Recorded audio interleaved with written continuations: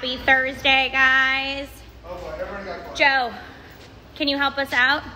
Our homeowners, what kind of roofs can we install for them? We install all types of tiles, shingles, and flat roofs. Thanks so much. Have a great day.